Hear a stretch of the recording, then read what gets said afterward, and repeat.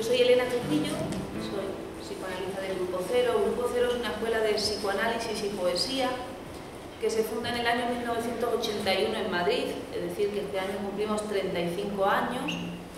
Una escuela que dirige y funda Miguel Óscar Menasa, que es un poeta y psicoanalista que tenemos aquí en Madrid, muy importante, y que además a final de mes tendremos en este mismo espacio durante la Feria del Libro para hacerle un recital poético homenaje a su obra porque se cumple también este año 40 años de su llegada a Madrid, produciendo, pues, no sé si han sido 40 libros de psicoanálisis y poesía en estos años, es decir, que además de películas, de pintura, es decir, que, que, bueno, un merecido homenaje para también conocer, para aquellos que aún no lo conozcan, parte de su obra poética.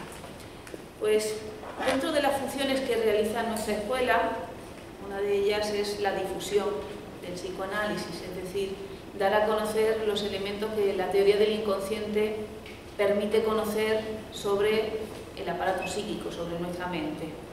La teoría del inconsciente es una teoría muy joven, una teoría que produce Freud, inaugura con la obra La interpretación de los sueños en el año 1900, es decir, tiene poco más de un siglo, es muy poco tiempo para el tiempo de la ciencia, aún estamos conociéndola, aprendiéndola a leer, nuestra tarea en la escuela es formar a psicoanalistas o dar a conocer a través del estudio la, la extensa obra de Sigmund Freud, difundirla y también cumplir una misión que es trabajar para la salud de la población y por ese motivo está el departamento de clínica al cual pertenezco, que como psicoanalistas pues ofrece sus servicios de atención clínica a las personas que así lo soliciten.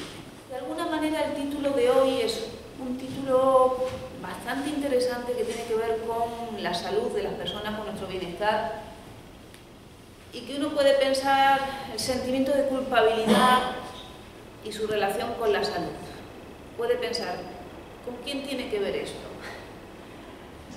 Porque es un título interesante, interesante en el sentido de que vamos a hablar de un sentimiento de culpabilidad que no se siente como tal. Cuando hablamos de sentir la culpa, nos solemos ir rápidamente a ese sentimiento que a veces uno tiene como de responsabilidad, de reproche cuando comete alguna acción. Algo que se siente y que te lleva decimos comernos el coco, arrepentirnos, a, a generar malestar. De ese sentimiento de culpa de cuando cometemos una equivocación o un acto que tiene consecuencias negativas, no vamos a hablar, porque evidentemente pues ese sentimiento se puede resarcir pues mediante una condena, mediante una duración de tiempo, las cosas vuelven a su cauce, es decir, es una cuestión de la conciencia. El psicoanálisis no trabaja sobre la conciencia, o es más, trabaja sobre la conciencia pero para conocer los procesos del inconsciente, los productos del inconsciente. Es decir, que nuestro trabajo como psicoanalistas va a ser interpretar a través de lo que el paciente nos aporta, a través de la asociación libre del paciente, a través de los síntomas, de los sueños, de los actos fallidos, interpretar la realidad psíquica inconsciente de esa persona que le ha llevado a, a esa manifestación en la realidad.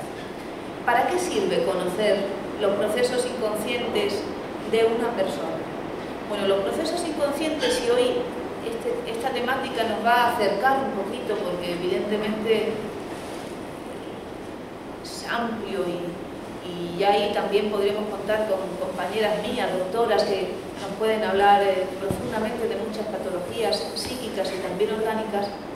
Eh, evidentemente, la realidad inconsciente se, manifiesta y los síntomas que padecemos, que son consecuencia de, de un trabajo, no son azarosos, no son mala suerte, mm, no son crónicos, no son genéticos, decir, es un trabajo del inconsciente que, en lugar de producir una creación artística, en lugar de producir unas palabras que produzcan unos efectos en la realidad, en lugar de producir un sueño, pues el sujeto produjo un síntoma o una enfermedad. ¿Se escucha bien con este micro? Sí, sí. Debo tener complejo de cantante porque es que de vivir rodeada de cantantes pues se, se contagia.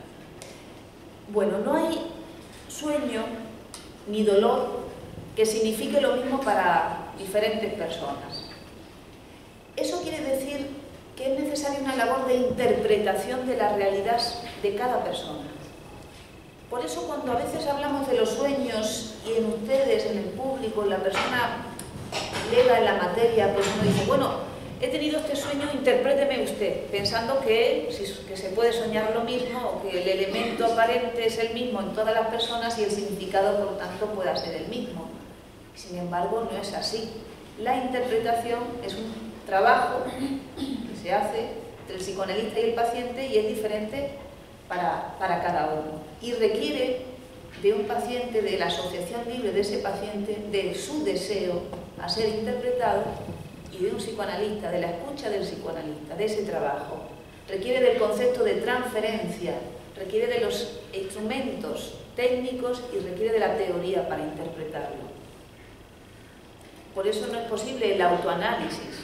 Ustedes se plantean la reflexión en muchas ocasiones como si fuera un acercamiento a aquellos contenidos que no conocen de sí mismos. La reflexión solo nos puede acercar permite acercarnos a aquellos elementos de preconscientes, es decir, que alguna vez hemos pensado, que alguna vez hemos hablado, que alguna vez hemos escuchado, pero que de alguna manera no tenemos en esa primera fila de la conciencia. Cuando trabajamos solo los aspectos preconscientes, como hacen otras disciplinas o como hacía la hipnosis, el campo de la sugestión, Freud vio que los efectos eran temporales, que no eran duraderos en el tiempo, es decir, no había transformación, por tanto, los síntomas se reproducían. ¿Qué ocurre cuando intervenimos sobre un síntoma determinado? Miedo a volar, usted tiene miedo a estudiar, tiene miedo a enamorarse, tiene... le trabajamos ese síntoma y como trabajamos solo el campo consciente-preconsciente, no estamos sabiendo para nada cómo el sujeto ha producido ese temor totalmente injustificado, vuelve a aparecer en el tiempo otra sintomatología, porque es una tendencia a la expresión. ¿De acuerdo? Entonces el psicoanálisis trabaja sobre esos otros contenidos que no se pueden ver en la conciencia, se ven los efectos y requieren ser interpretados. Le dije antes que no íbamos a hablar del sentimiento de culpa que sentimos, sino es otro sentimiento, es el sentimiento inconsciente de culpa. Un sentimiento que tenemos todos, que no sentimos, sí, sí, todos, todos, pero que no sentimos y que cada uno lo gestiona de manera diferente. Con ello quiero decir que cuando uno tiene un síntoma determinado, un síntoma puede ser desde llegar tarde, desde tropezarse antes de entrar y venir todo empapado, desde nombrar otro tipo, puede ser cualquier síntoma o error. Eso está mostrando mi relación con la situación en la que estoy. Además, puedo estar en otra situación en la que estoy, es decir, no se crean que ustedes están aquí. Algunos están en, en otra cosa, ¿no? están en su, su mundo psíquico y relacionan lo que escuchan con su mundo psíquico, para nada con la conferencia. Que es un trabajo relacionarse con la realidad. Es un trabajo que requiere salud, que requiere una coordinación adecuada entre las distintas instancias psíquicas, el yo, el ello y el superyo. La salud no tiene que ver con que las personas neuróticas o psicóticas tengan un aparato estropeado o diferente al del sujeto normal. Eso ya Freud lo de, ¿no? empieza su teoría diciendo eso, teoría de los sueños, interpretación de los sueños. Dice, yo he llegado a esta teoría, a la teoría del inconsciente, a través de mis trabajos, mis estudios con mis pacientes histéricas, mis pacientes neuróticos, pero si yo baso mi teoría sobre enfermos, me van a objetar que les pasa a los enfermos. Yo les vengo a demostrar que lo que les pasa a los neuróticos, ese modo de producción de síntomas, ese modo de comunicarse, esa manera de relacionarse con la realidad, se manifiesta de otra manera cuantitativamente diferente, pero no cualitativamente diferente. Es una cuestión de energía, el aparato es el mismo, la estructura es la misma, en la obra artística, en el trabajo intelectual, en los sueños, en los olvidos, en el chiste.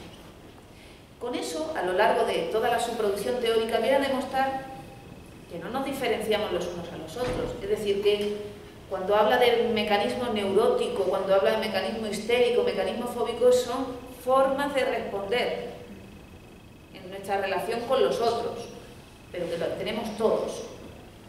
Lo que diferencia a una persona que produce esos síntomas ahí es la cantidad. Su modalidad de enfermarse es de esa forma, pero una cuestión de cantidad.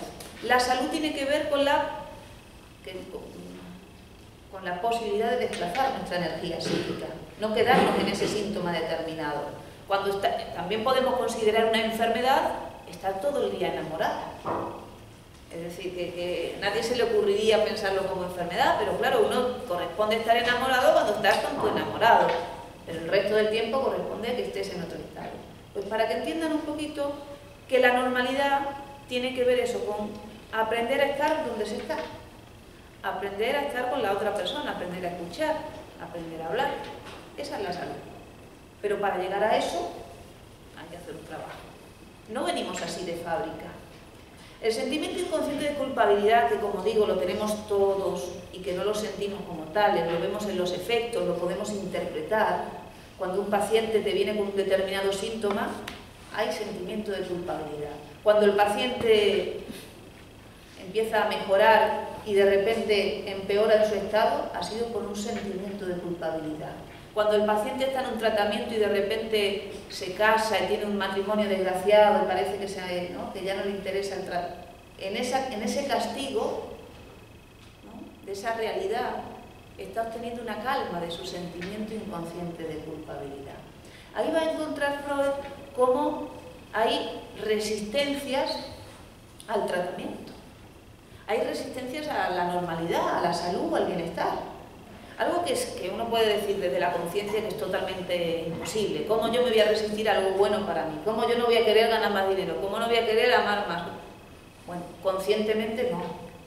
Pero estoy diciendo que hay una parte en usted donde recibe más tranquilidad con un castigo, con algo que le salga más mal, que con una situación ventajosa para usted, porque es como que no sabe cómo gestionar el sentimiento de culpa que tiene.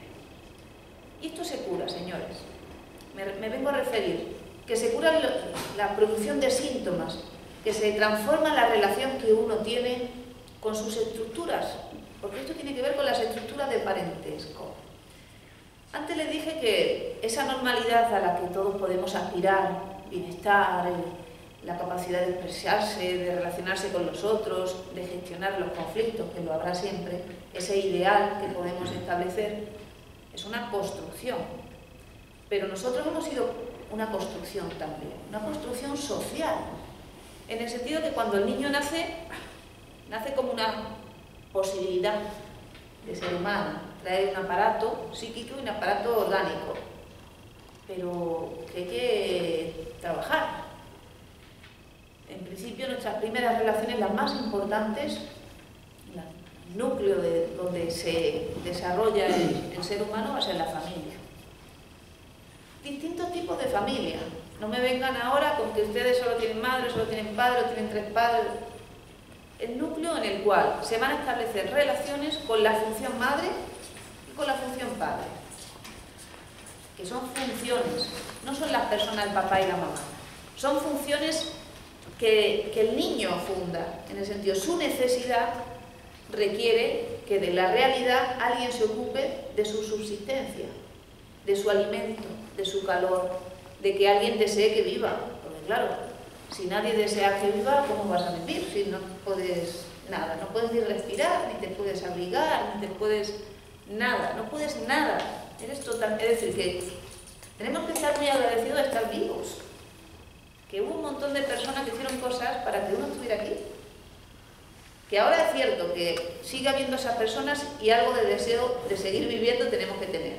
Porque si no vas a trabajar, si no te lavas, si no, nadie va a venir a hacerlo contigo. Pero antes todo no lo tenían que hacer, todo, durante bastantes años. Y además, ya no solo desde el ámbito del cuidado, de la protección y del amor necesarios para conformarnos como personas, también una función que va a venir a cortar de alguna manera, a establecer unos límites necesarios que tienen que ver con la realidad en la cual vamos a vivir, porque la familia no es el destino, la familia es el punto inicial de la vida de un sujeto, pero luego tenemos que salir a la calle, buscarnos la vida, hacer nuestra propia familia, nuestra propia vida, buscar a personas que no conocemos, interesarnos por ellas, emprender compromisos. Entonces la idea es el mundo. Claro, eso no me extraña que algunos se asusten y se queden con sus padres, pero el mundo no es tan terrible. ¿De acuerdo? Es como uno en su imaginación, en su fantasía, en su neurosis, fantasea esa, esa ruptura. Porque es una transformación, es un cambio, es una suma. Aprender a sumar cuesta, porque cada paso que das modifica lo anterior. Pero que si no das pasos, también se está modificando, pero en otro sentido, más perjudicial. La enfermedad es una solución siempre, pero una solución que engaña, que es muy costosa de mantener y que es muy costosa para la vida de una persona, en tanto solo tenemos una vida y hay que, hay que aprovecharla. Pues la enfermedad siempre es, es como una moneda, un cambio, una, una forma que la persona encontró para vivir, para no afrontar algo que para él era demasiado difícil. Tenemos que entender que para el neurótico, ya un poco hablaré qué es eso de neurosis, a qué me refiero, para el neurótico elementos niños que para una persona normal pues, es hablar con alguien, decir, mira, no me interesa, mira, te dejo, mira. Para un neurótico son como muros, son como elementos que son casi imposibles, que son como conflictos, simplemente porque los ha pensado como conflicto, o porque supone que el otro va a reaccionar, es decir, que tiene una realidad en su fantasía ¿no? y le cuesta transformar y transformarse con la realidad que transforma. Porque claro, todos nos estamos transformando en el amor. Si usted ama verdaderamente, ese amor le transforma en esa relación, en esa diferencia que es el otro, que para seguir amándonos tenemos que respetarnos. Si usted se hace médico, se transforma. Si usted escucha una conferencia, algo se transforma. Pero claro, tiene que haber una actitud de entrega. Si yo no me entrego, si yo no hago un trabajo en la lectura, si yo voy cerrado y quiero que la lectura se parezca a mí, yo no me transformo, pero tampoco conozco qué me dice ese libro, qué me dice esa persona, qué me dice la universidad, qué me dice... Entonces tiene que haber una apertura en cada uno para que pueda conocerse, para que pueda producirse, para que pueda desplegarse.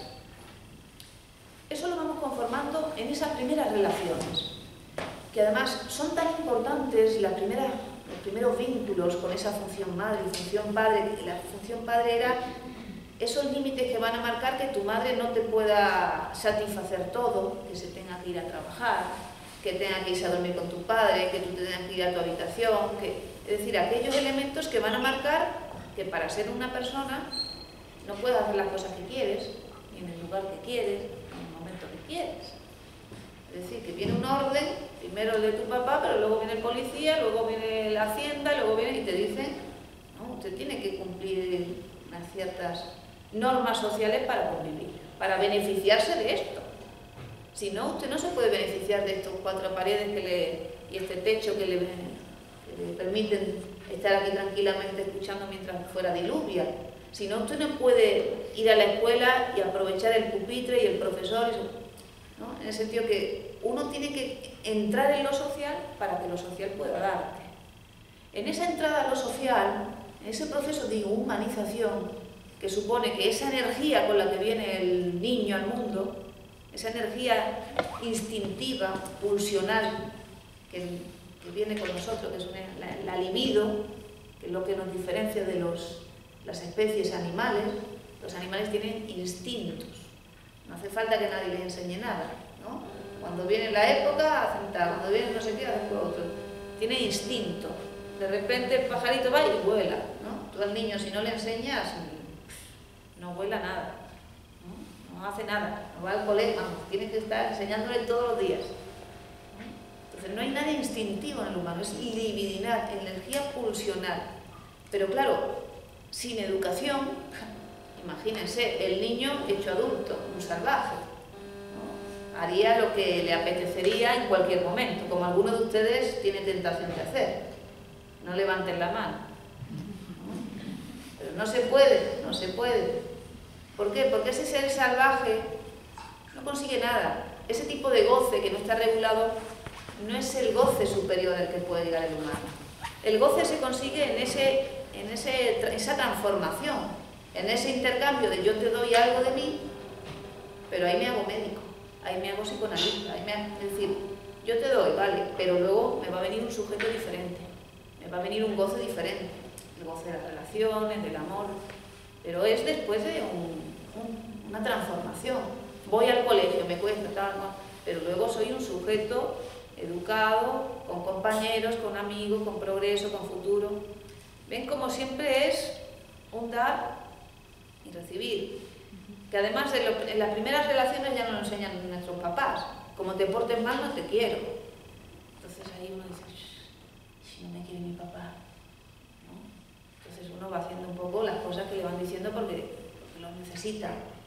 Y luego porque va entendiendo que, que, ese egoísmo que uno a veces desarrolla te aísla de los demás. Y el mayor goce de las personas acontece entre las personas. Un líder sin nadie no es líder. Un cantante sin, sin público no es cantante. Es decir, que un amante sin amado no, no es amante.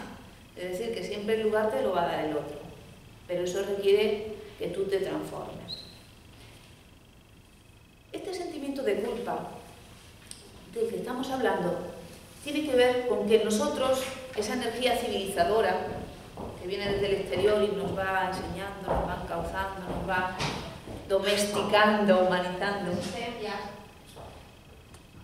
¿Qué ha dicho? Este, ah, no sé, el nombre. Este. El público se manifiesta. en cualquier momento. Cada uno tiene su momento. Pues esa energía civilizadora también se hay una, una fuerza en nosotros que nunca desaparece, que es opuesta a la civilización, que es egoísta, que es narcisista, que para el inconsciente Mm, cuando algo me molesta lo eliminaría directamente, mataría. Es decir, eso que escuchamos a veces los niños de desaparece, muérete, no sé qué, ellos ahí todavía no tienen el concepto de muerte, no saben las implicaciones que tienen esas frases. Pues ese elemento infantil o ingenuo que traen los niños, donde uno tiene que ir detrás de ellos para que no mate el hermanito, para que no meta los dedos en el enchufe, para que... Eso lo vamos a tener siempre, como una energía que no quiere asumir e, e, esas leyes que, te vienen y te dicen, mira, hijo mío, tu madre es mi mujer, no es tu mujer, por tanto te tienes que ir a tu habitación. Hijo mío, me tienes que respetar porque esta es mi casa y aquí no se hace lo que tú quieres, se hace lo que establecemos nosotros. Hijo mío, el ¿no? todo el tiempo hay elementos que te vienen y te coartan. Uno podría decir frustración la realidad me frustra, mis padres me frustran, la educación me frustra, Rajoy me frustra. Es cierto que Rajoy nos frustra, pero es necesario, es necesario en tanto ahí aprendemos a trabajar, ahí aprendemos a transformarnos, ahí aprendemos a pactar, porque el niño no sabe pactar. Si no hay esa moneda donde tú tienes que hacer algo para conseguir algo, no sabe pactar. Encontramos hoy en día padres que educan a sus hijos dándole todo, ¿no? diciéndole a todos que le pregunta al niño, ¿tú qué quieres comer hoy? ¿Qué te quieres poner hoy de ropa? ¿Y quieres ir no sé qué? ¿Y a dónde quieres que? Y son los niños los que llevan a los padres. Entonces, claro, como si no existe esa fuerza exterior que tiene que de alguna manera cumplir su función, porque es una función, donde vayan marcando de alguna manera unos tiempos, unos órdenes, cuando el niño sea adulto, ¿quién le va a dar una indicación a ese adulto? Si no se la dieron en su vida.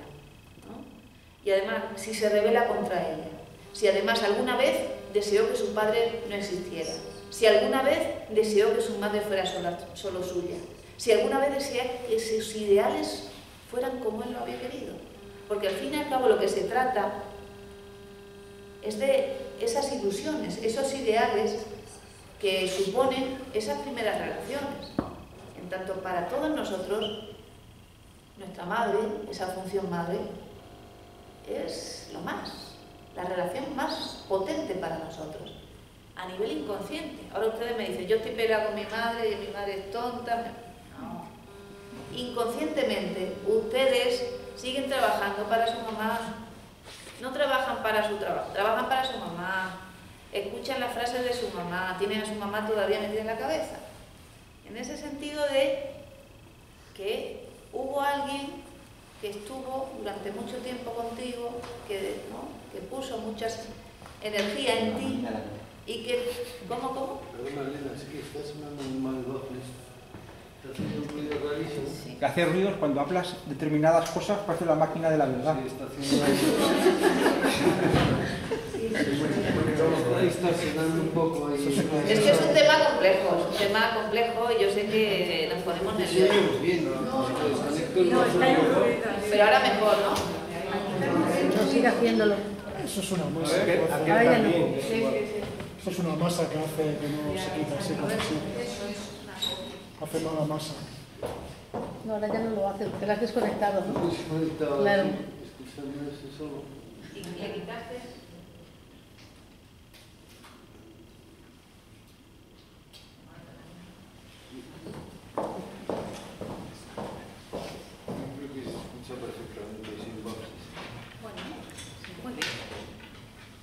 Bueno, pues que les tengo que confesar eso. Que lo que les pasa tiene que ver con su mamá. Aunque todavía no sé lo que les pasa. Como les dije antes, uno puede ser una persona normal y tener inconsciente. Porque el inconsciente es un- una estructura psíquica. Lo que nos diferencia los unos a los otros, al fin y al cabo, es la relación con la realidad que tenemos. Ustedes me pueden plantear problemáticas orgánicas, problemáticas familiares, de parejas, sexuales, con el estudio. Bueno, eh, todas ellas va a tener que ver su constitución psíquica, su relación con cómo ustedes construyeron su proceso de crecimiento. Cuando hablamos del complejo de Edipo, que es un- un tema insistente, porque es el nódulo central de la vida humana, el nódulo central de la neurosis. El complejo de Edipo es el pasaje que vamos a hacer desde una especie animal, de una especie donde tenemos solo el, cuerpo, pero no tenemos instituido nada, no hay leyes, no hay, como dije, esas pulsiones del niño que si lo dejáramos sería un, animal, un bestia, un mowgli, ¿no?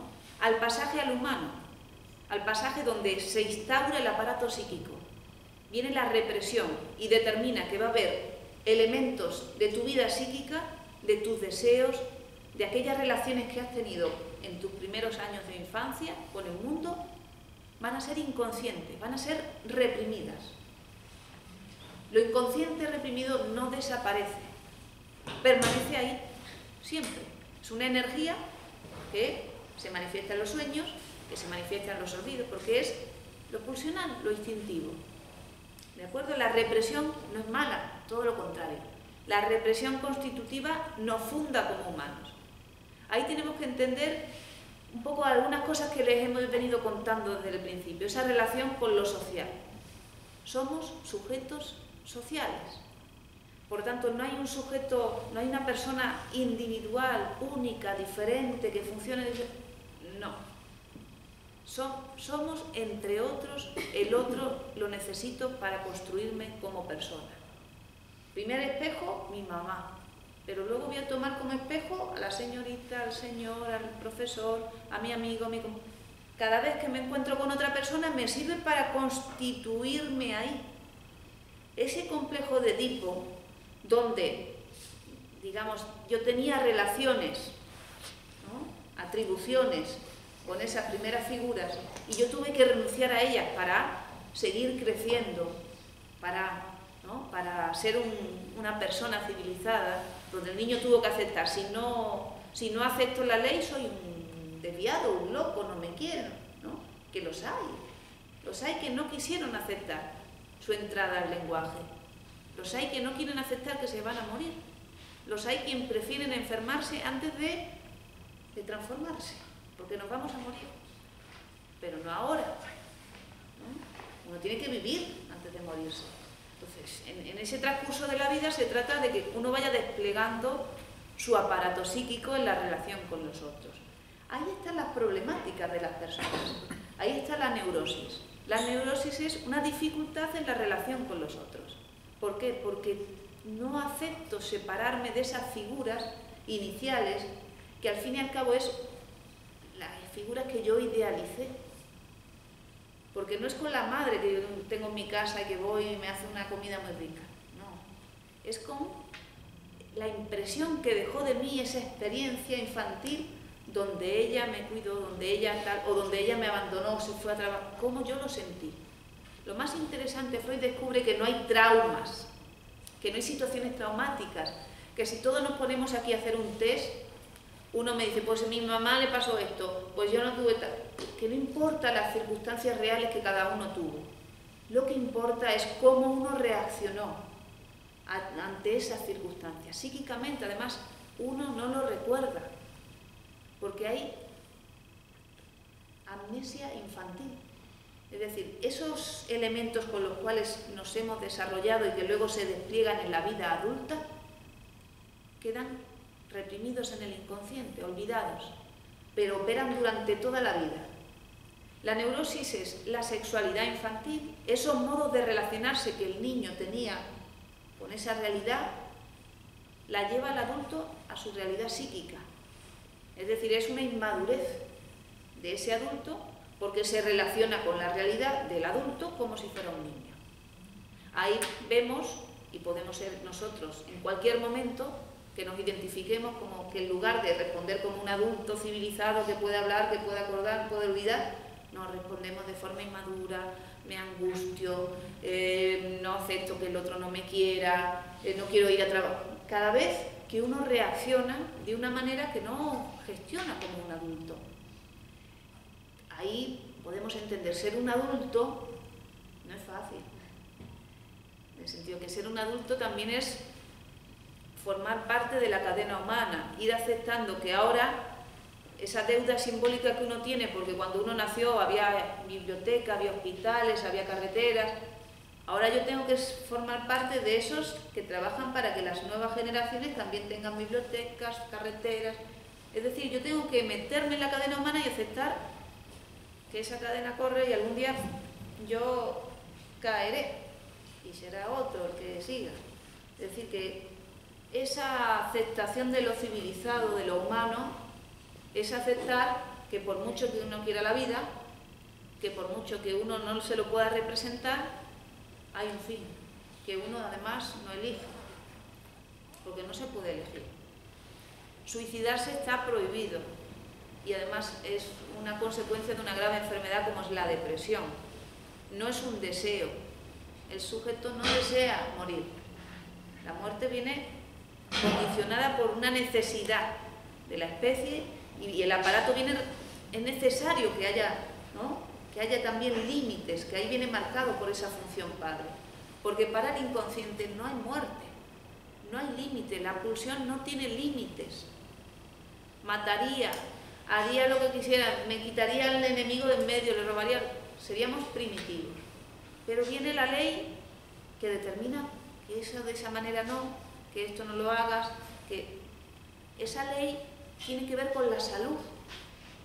Cuando nos enfermamos, y ahí, ahí están las enfermedades de la histeria, donde se manifiestan en el cuerpo muchas sintomatologías, la histeria utiliza el cuerpo como un lienzo, pero no hay alteración, no hay lesión, pero es una enfermedad y hace padecer a esa persona, porque es una forma única que tiene de expresar su realidad psíquica, lo que piensa, lo que le pasa, solo lo puede manifestar con síntomas orgánicos. Y ahí estamos muchísimo, ¿no? Me duele la cabeza y porque ayer te dijo una frase que no te la puedes quitar de la cabeza y como no le pudiste responder, pues dolor de cabeza y lo tienes ahora, ¿no? Hay personas que se les queda el dolor de cabeza y están años y años y años, o un dolor en la, la musculatura, es decir, que se van, en- que al no ser tratadas las patologías psíquicas, se cronifican.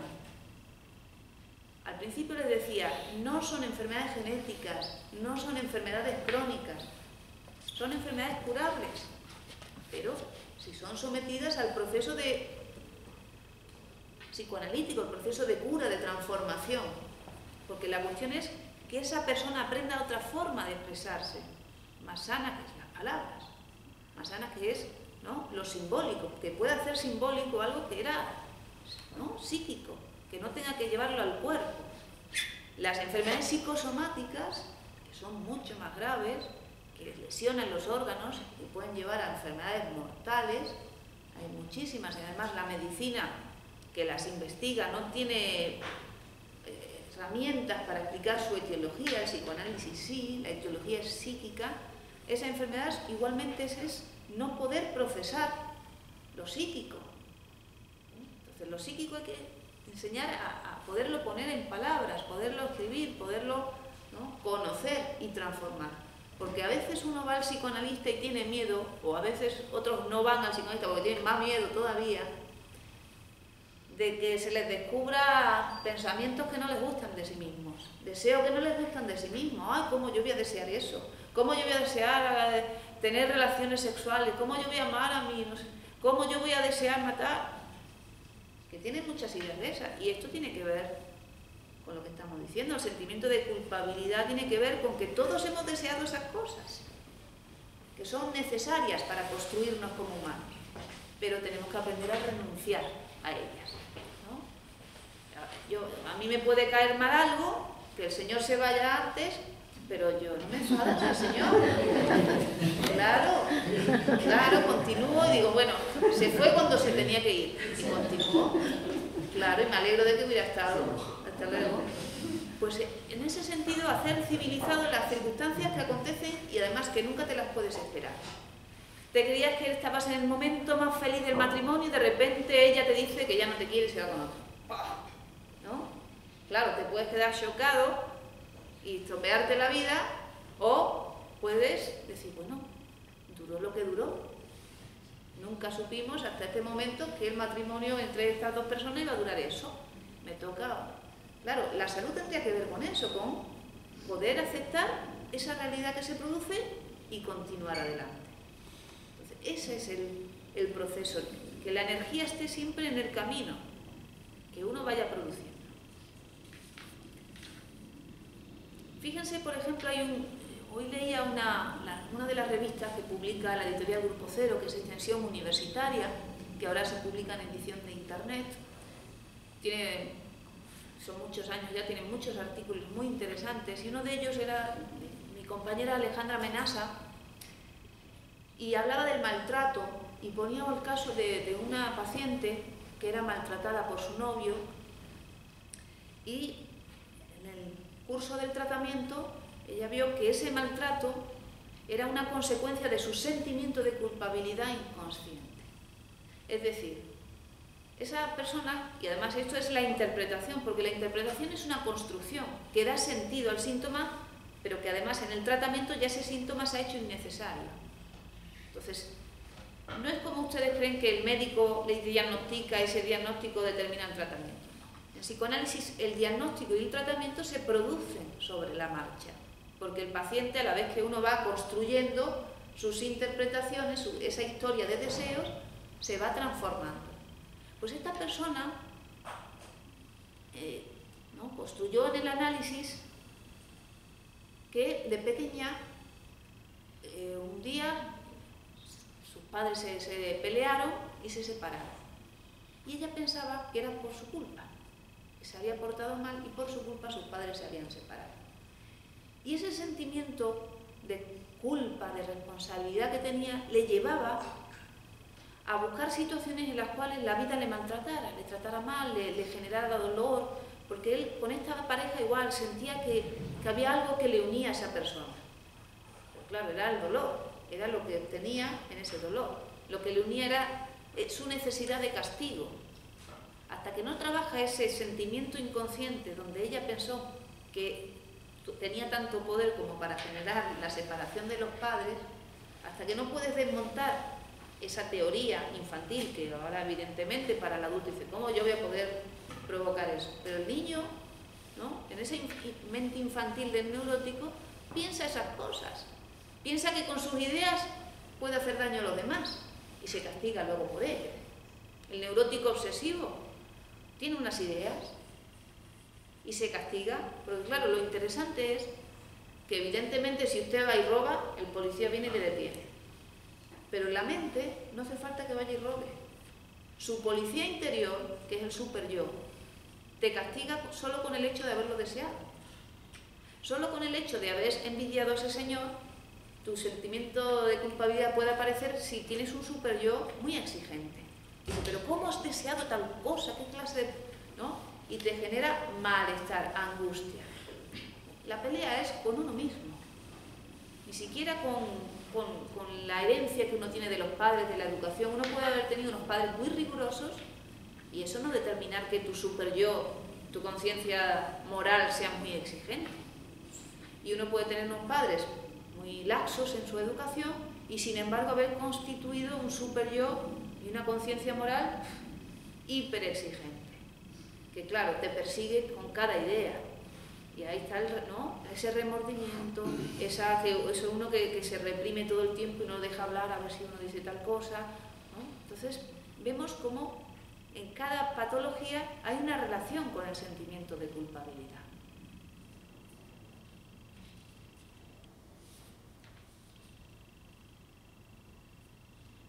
Y como decíamos, esa culpabilidad no va a desaparecer, porque tiene que ver eso con que alguna vez quisimos transgredir las leyes elementales de parentesco, alguna vez quisimos transgredir una norma. Que además el doctor Menasa, en uno de sus libros, dice, mira, no hace falta acostarse con los padres para decir que uno ha transgredido la ley del incesto. Dice, hasta, uno hasta hay hermanos que se acuestan con hermanos, hasta hay hijos que se acuestan con los... Dice, dice, uno en cualquier momento, lavándose los dientes, puede transgredir la ley del incesto, porque es simplemente la transgresión, donde ahí uno, de algo que tenía que hacer de otra manera, lo hizo de esa manera. Y ahí se cumplimenta esa, esa transgresión. Entonces, cada día, en cada acto, uno muestra su relación, su posición con la ley. Y en cada acto humano. Por eso no nos vayamos a buscar de fantasía, ¿no? Cuando hablamos de la madre, el padre, son elementos teóricos. El niño no se iba a acostar con su madre. Son elementos teóricos que nos permiten estructurar el aparato, pero que tienen que ver con eso, con que cada vez que hay una ley, cómo usted se relaciona con esa ley humana. Y en esa relación con la ley hay unos que se enferman y otros que progresan, otros que hacen arte, porque además la diferencia entre un artista y un neurótico no son los deseos que tienen, es lo que hacen con los deseos. El neurótico o se reprime o si es perverso lo ejecuta, ¿no? se salta la ley, pero el artista hace una transformación, es decir, utiliza los elementos estéticos para construir una nueva realidad, el cuadro, el, el libro, la historia, la película, pero para hablar de, de aquello que desea, pero transformado, genera placer cuando uno lo ve. Uno ve la película y uno siente identificación con el deseo del artista, porque era algo que también uno deseó, pero él lo hizo de esa manera y otro fue y se acostó con no sé qué, otro fue y se quedó en la cama dormido y no fue a trabajar.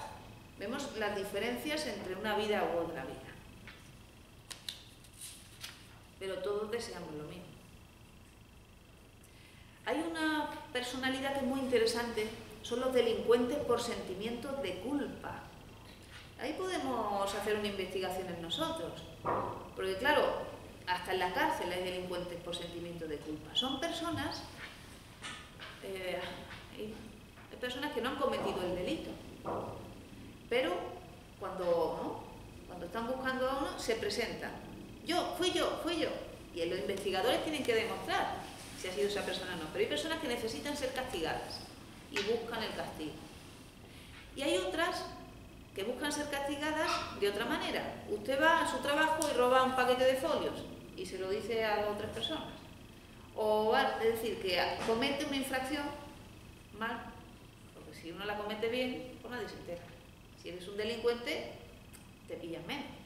Pero si eres un delincuente por sentimiento de culpa, hace las cosas para que te pillen, para que te castiguen. ¿no? Eres infiel y vas y se lo cuenta a tu mujer.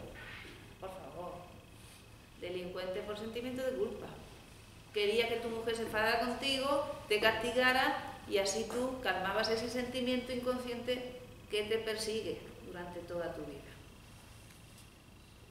Los cuidadores, las personas que pasan un montón de horas con sus familiares enfermos, un día, otro día, generan también inconscientemente deseos hostiles hacia esas personas, por el sacrificio, por la personalidad del otro, por las cosas que no puedes hacer por estar...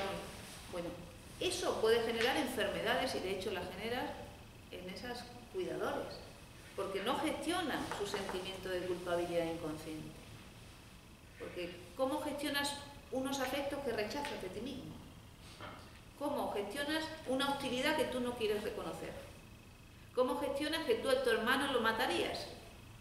Que lo, que lo odias, que no lo soportas. No, no, ¿Cuánta gente hay que dice que se ama y se quiere y no aceptan que tienen hostilidad o que tienen elementos que, no, quieren relacionarse con la otra persona y sin embargo se lo tragan.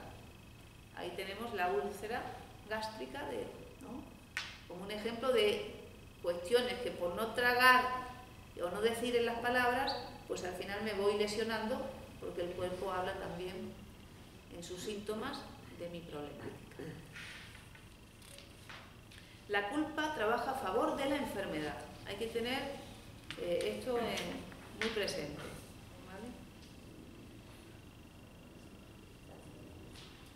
Y tiene que ver con el proceso de acceso a la cultura. La cultura es la que determina el progreso de la humanidad.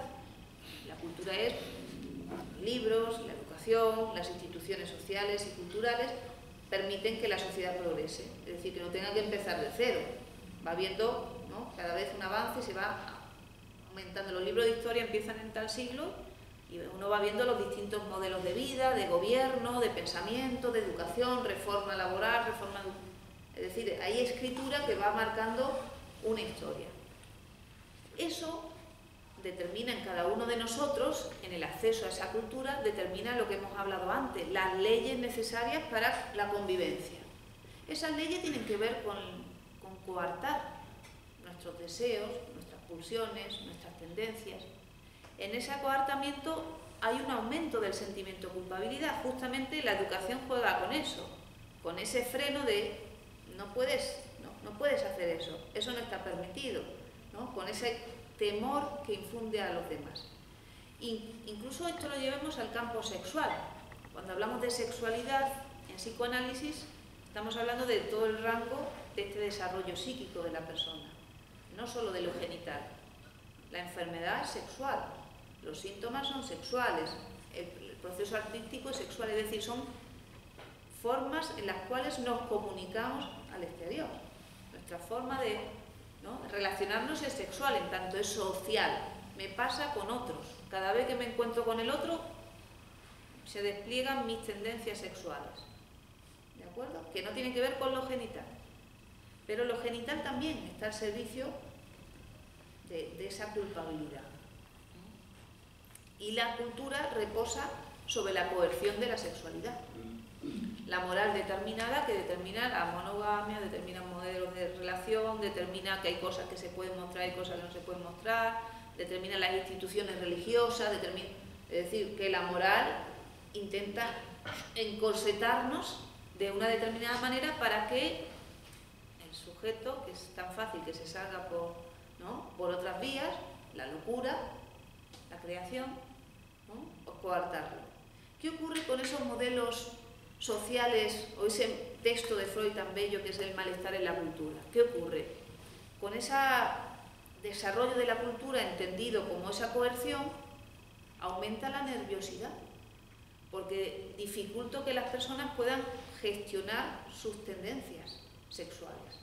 Es decir, le digo, usted no despliegue su sexualidad, no se acueste con estas personas, no hable con no sé quién, no salga por ahí, no salga por pero tampoco le está encauzando hacia el arte, hacia la inteligencia, hacia la... Vivimos en culturas que, bueno, para ser científico hay que... como si te tocara la lotería, porque claro, vale, ahora hay que ir a la universidad y ver si se lo puede uno pagar. Luego terminar la universidad y ver si uno puede trabajar. Y luego, si uno trabaja, ver si puede vivir con lo que trabaja, con lo que te pagan, o te tienes que ir. Es decir, en el arte igual. Los caminos donde se construye otra forma de manejo de la sexualidad también son complejos en las sociedades actuales. Entonces, como que al sujeto, a las personas, solo nos queda la sexualidad como un refugio frente a eso que no sabemos gestionar de nosotros, que es nuestra energía sexual.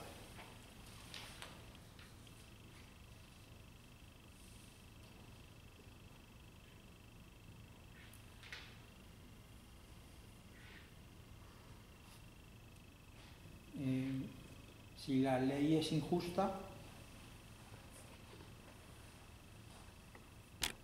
no es que la rechaza porque no la puede soportar, sino porque es justa. La ley de Rajoy, por ejemplo. La ley de Rajoy no genera, no la aceptas, ¿no? No genera neurosis. ¿No? La ley que genera neurosis, y además no es la que genera neurosis, la ley, la ley es necesaria, instituye la, civilización, instituye el sujeto, lo que es fracasado es la reacción de la persona. La dificultad que tiene esa persona que tú dices, la, la ley es injusta, no, el que no ha sido tolerante con la aceptación de la ley he sido yo. Porque un gobierno, una institución, un profesor puede poner un castigo injusto, ¿vale? Pero eso no genera enfermedad. Eso genera rebeldía, disconformidad, eh, genera que aparezca un nuevo partido que diga, pues ahora vamos a hacer las cosas de otra manera, ¿no? Porque ese partido Podemos que ha surgido de las leyes injustas de Rajoy o de este gobierno, no son neuróticos, son personas civilizadas que hablando se han reunido para decir, podemos hacer las cosas de otra manera. ¿Se pueden hacer de otra manera? Pero yo, digo la ley de cuando eres pequeño del padre. Es que no es la ley del padre, son leyes humanas. El padre además te puede decir, niño, acuéstate a las nueve, a las ocho. Es que eso no es una ley. La ley es la humana. Con tu madre no te puedes acostar. Esa es la única ley que hay. Ley de interdicción del incesto hay una prohibición, un campo que no está para ti. Si tú aceptas eso, todas las leyes están chupadas. Pero si no aceptas eso, si tú dices, y es injusto, ¿y por qué no? Entonces ahí hay enfermedad. Además, ¿quién le convence al neurótico o al psicótico de lo contrario? ¿No? Porque empiezan las preguntas, ¿y por qué así? ¿Y podría ser de otra manera? el, semáforo es rojo y es rojo y te tienes que parar. Que podría ser de otra manera, ya eres un neurótico cuando, cuando piensas eso. ¿A ti qué te importa que fuera de otra manera? Importa que eso regula la circulación, que eso permite que podamos conducir. Entonces, cuando uno se plantea esas normas, es otra norma la que se está planteando. Una norma que tú piensas que podría no haber sido, que podría yo ser inmortal, ¿y por qué no? Que podría yo ser mujer, ¿y por qué no? Entonces ya ahí uno entra en preguntas que no tienen respuesta, porque la respuesta es que para aceptar ser un sujeto humano tienes que aceptar las leyes humanas, que si no, eres un enfermo, no un sujeto de otra especie. Pero las leyes de la cultura. Más que, la cultura es una, viene después. La, enfermedad viene de la, de la falta de desahogo, de la represión no expresada ante la norma. Bueno, a veces es un desahogo grave. La falta de desahogo, de expresión. De otro desahogo. De, otro desahogo. El, mayor desahogo es el más simbólico. El más civilizado, por ejemplo, es la sublimación. Pinto un cuadro y ahí me cargo a tres o cuatro. Es la expresión de tu... ¿No? Pero no he matado a nadie. O digo una frase, te mataría y no hace falta que te mate. Eso es lo más civilizado, ese es el mayor desahogo. Algo que yo me lo digo ya, ¿vale? Pero la culpa o la enfermedad expresada ¿no? a través con la culpa es un desahogo, pero muy caro, porque en realidad es la no aceptación de la represión, es como un fracaso de la represión, porque la represión, ya digo, es necesaria, es necesaria que haya algo que no puedas para que puedas hacer otras cosas. Es como para entendamos, en el momento de la charla no puedo ir a hacer pipí, no es el momento. Si yo no consigo reprimir eso, ¿no? entonces... Se transforma en culpa y... No, la culpa estaba antes. La culpa es previa, porque la culpa tiene que ver eso con, querer transgredir la ley, con querer volver a esa situación de la madre fálica donde mi madre era tan inteligente, tan simpática. Yo hacía así, me daba la comida, me tapaba. imagínense esa sensación, ya la hemos olvidado. Es irrepresentable, pero si ver un bebé, uno dice, claro, el bebé está, y no, está en su mundo, que es en el mundo, que el, envoltorio con, su madre, donde no necesitan nada más. Es eso. Pues es esa tendencia que todos tenemos. Que, se puede decir con otra frase más soez, pero que no la voy a decir. Pero en ese sentido que, que en muchas ocasiones uno quiere, uno quiere irse a donde no se tiene que ir que uno tiene que aprender a estar donde está, a relacionarse con las personas que se relacionan. Y ese es el camino de la humanidad. Y es el más complejo. Ser humano, ser sano, ser poeta es el, más complejo. El más fácil es desviarse, es acordarse, eh, pero regidos por el principio del placer, si nos dejemos regir por nuestras apetencias, la vida tampoco tiene mucho chiste. La vida tiene chiste en tanto viene el principio de realidad, viene esa realidad que te marca normas, distancias, tiempos, y ahí uno se transforma, y ahí uno empieza a tener vida, realidad, y empieza a ser un con valor. Bueno, ahora es el tiempo de sus preguntas. Es bastante serio lo que quiero preguntar, pero eh, ¿ser de la ley puede tener una enfermedad? Yo sé, no sé, a lo mejor vendrán mis... ¿Pero qué era primero, eh, primero el, Atlético? Del Atlético de Madrid. Pero usted llegó a, a, eso, que el Atlético estaba antes que usted. Sí, sí, estaba antes Es decir, que usted se hizo atlético, se hizo sufridor. yo lo que no entiendo es por qué me pude haber hecho del Atlético, ¿verdad? Es decir, sí, lo era mis Hombre, que juega muy bien. Te puedo asegurar que los paso fatal. Pero eso es por usted. Es por no usted. le puedo perdonar a Sergio Ramos que hiciera llorar a mi niña. Hace dos años. Pero de verdad, ¿eh? o sea, yo me lo encontraría y le inflaría leches. Por, por, por, Pero es muy interesante lo que usted plantea, porque se dice los sufridores, ¿no? Sí. Pero no, no porque ni todos sufren de la misma manera, porque hay otros que son atléticos y que, ¿no? que disfrutan con su equipo un montón y que aceptan que es así y justamente por eso les gusta, porque uno puede decir que el Madrid gana siempre, es chiste, ¿no? ¿no? el valor lo tiene esa lucha que tiene. El sufrimiento lo pone uno. Además, uno ha elegido ese equipo porque le hacía sufrir. Sentimiento de culpa inconsciente, que obtiene así un alivio pero que tiene que ver con algo que te persigue durante toda la vida. Que igual te pasa, te puede pasar, porque si al menos uno dice, solo sufro con el Atlético, que una vez por semana, bueno, pero hay quien sufre con el Atlético, con la mujer, con el jefe, con la rodilla, con... Entonces, entonces ¿no? la problemática es mayor. Ahí psicoanálisis sí o sí o sí. En su caso, pues puede ser una elección. Y además, si tiene un psicoanalista atlético también, pues... Estará igual Animarán a su equipo en el partido. No, estará igual de Bueno, pero quedar segundos o terceros no está nada mal, ¿eh? No, se, le, no se le puede llamar eso sufrir. Está fatal. Yo, yo, estoy pensando ya en lo que va a pasar en Usted es muy exigente. No, al contrario. Es que no hay justicia poética ni divina. O sea, la ¿Cómo, cómo? Que nos lo digan los del rayo. Bueno, es que tanto quejarse, lo tienen todo y están siempre allá. En el rayo entonces nos suicidamos. Claro, uno, uno se busca además elementos que le hagan sentir pasión. Porque si no sintiera pasión, no te gustaría eso. ¿no? Uno dice, ¿por qué me he elegido esta mujer que me hace sufrir? Pues debe ser que te genera esas, ¿no? esa pasión cuando te la genera y otra vez te genera otro tipo de pasiones, pero en ese, eso es lo que te gusta. Otros se buscan a gente que está Perdona, yo te quería preguntar una cosa. El sentimiento de culpa yo creo que no es tan malo, ¿no? Porque si tú has hecho una acción que es mala, tienes sentimiento de culpa. Entonces es, es, bueno, es, como la conciencia. Es la conciencia moral, pero era ese sentimiento de culpa consciente. Sí, sí, consciente. Dice, yo, he matado a una persona y, tengo sentimiento de culpa de que la he matado. Ese, si y a lo mejor tienes toda la vida. Si no serías un psicópata o una persona con muy bajo índice moral, es decir, que tiene muy pocas reglas morales. Entonces, una persona que tenga reglas morales se siente culpable si ha cometido una infracción.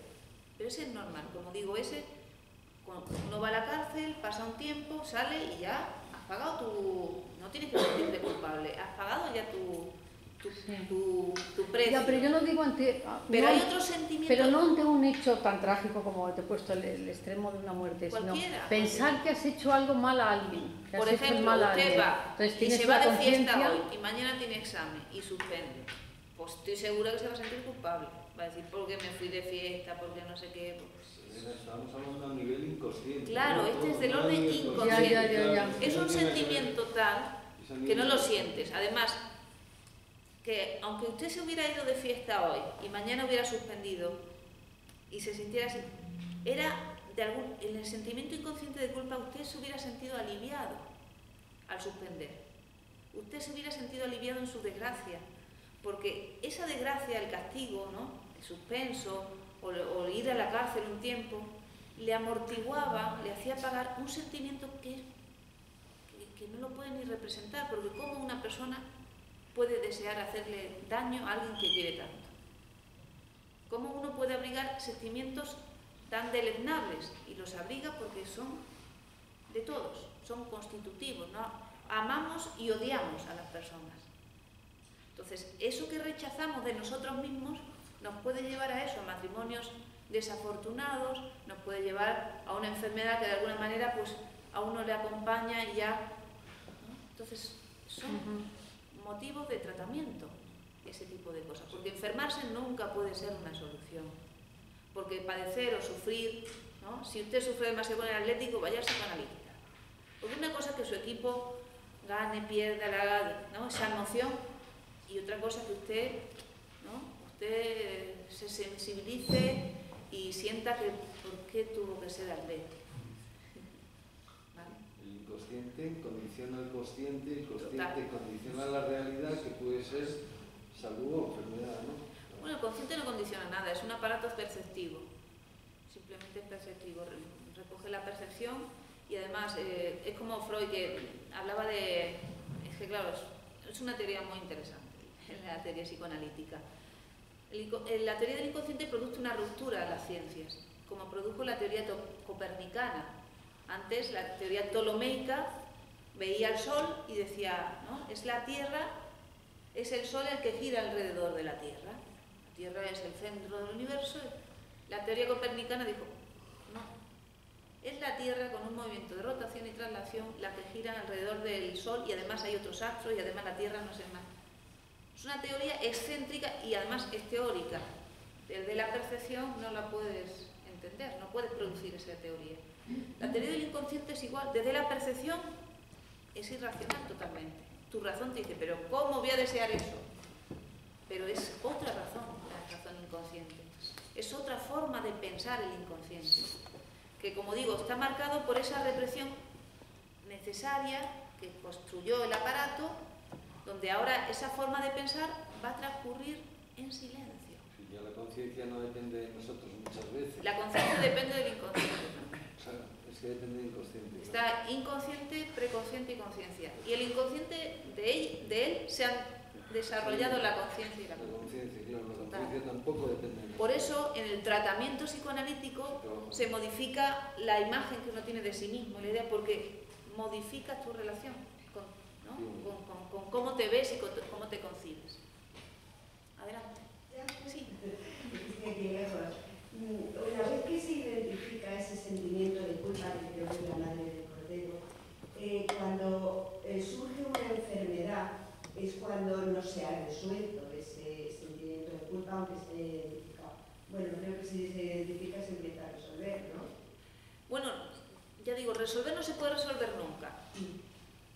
La cuestión es que no dé problemas. Decir, es un poco fatalista. Una vez que ya te pones enfermo, te enfermas. No, no, no, no.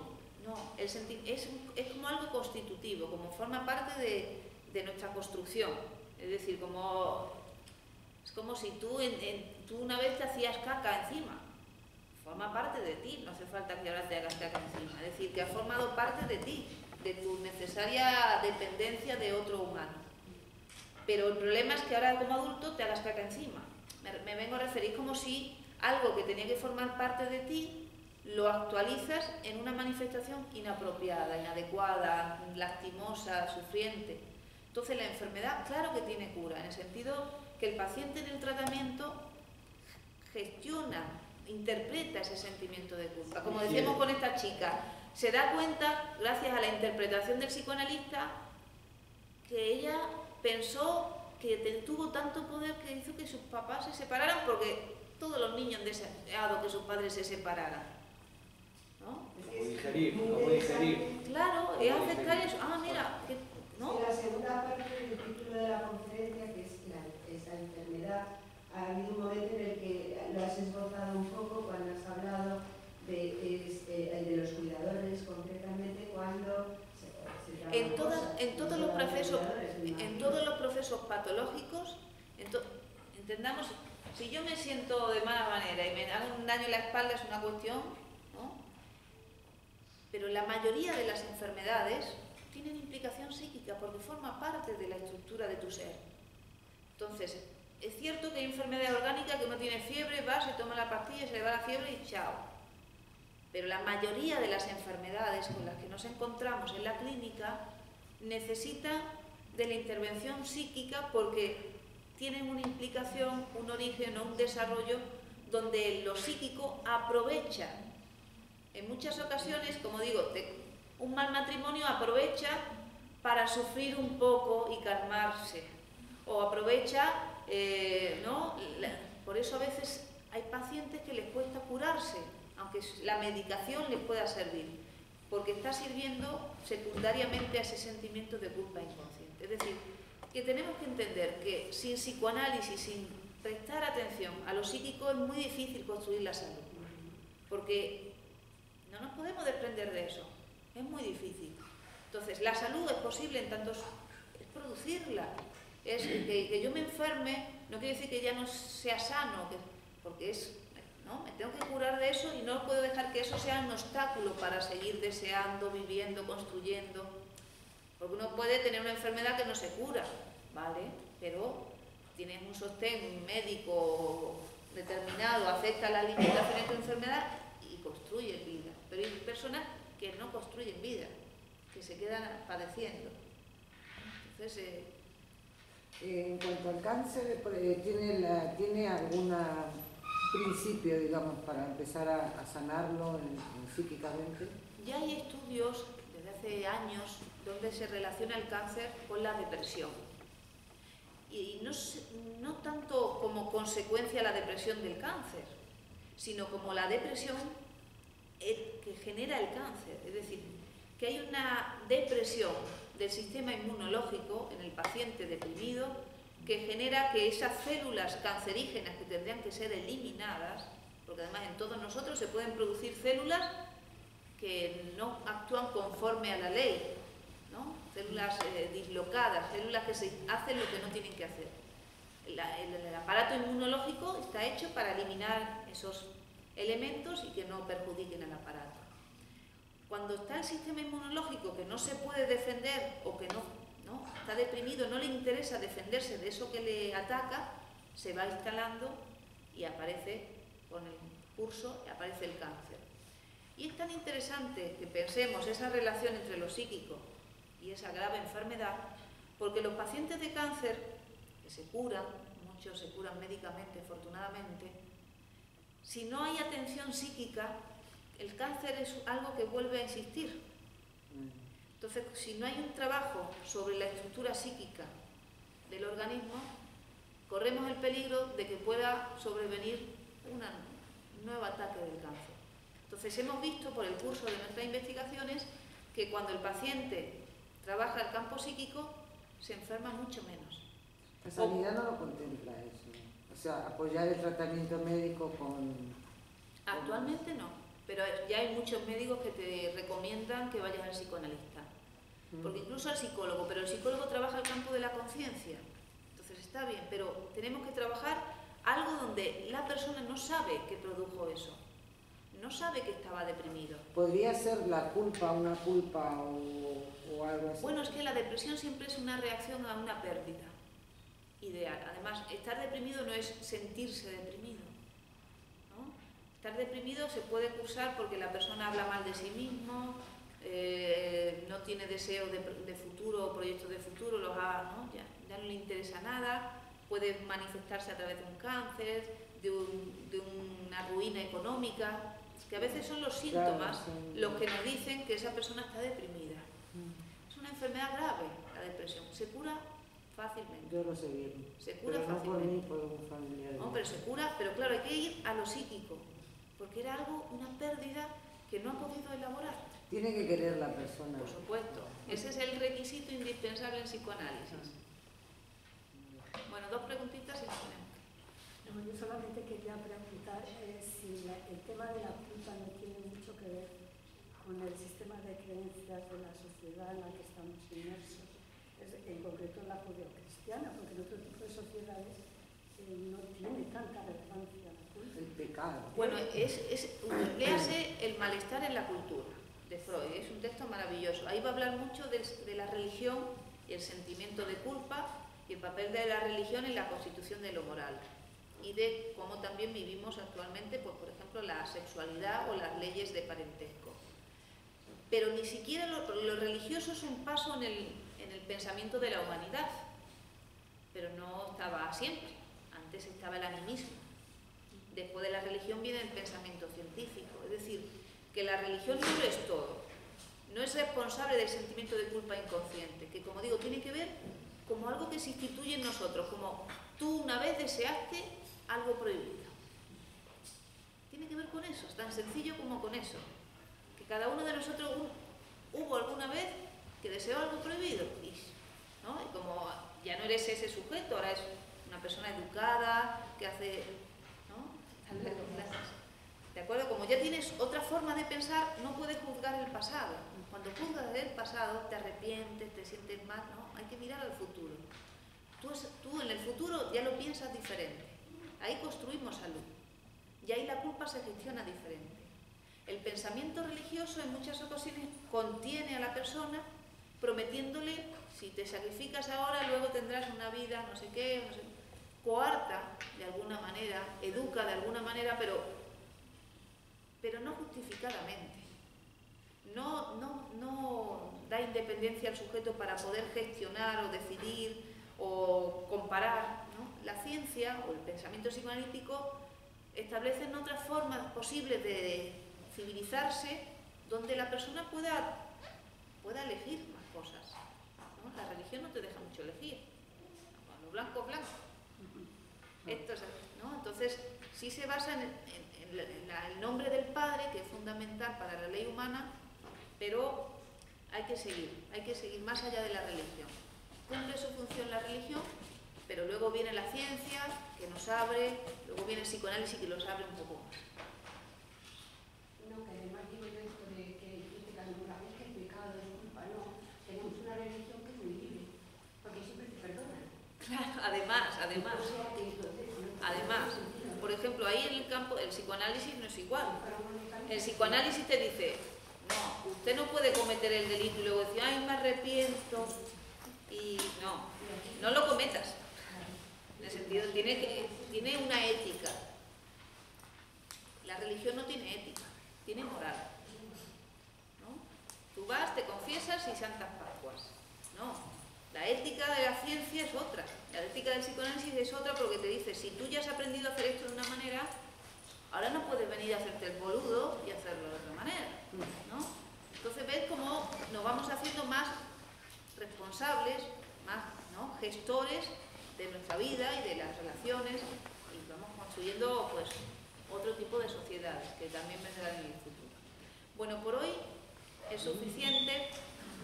嗯。